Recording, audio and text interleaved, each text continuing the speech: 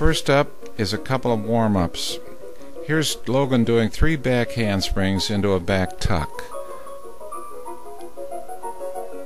And again. Next up is a very difficult three back handsprings into a full layout.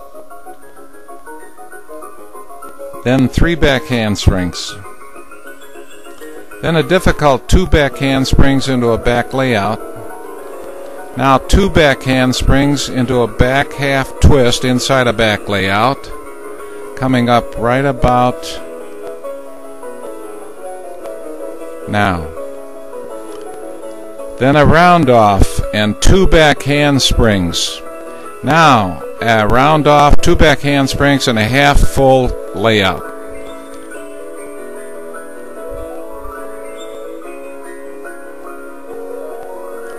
Round off, two back handsprings and a back full layout with a full twist. Very difficult, and it's shown here twice.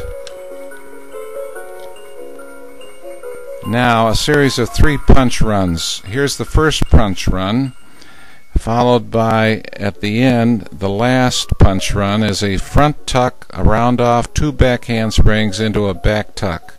Are you kidding? And all at 10 years old. Logan Downey.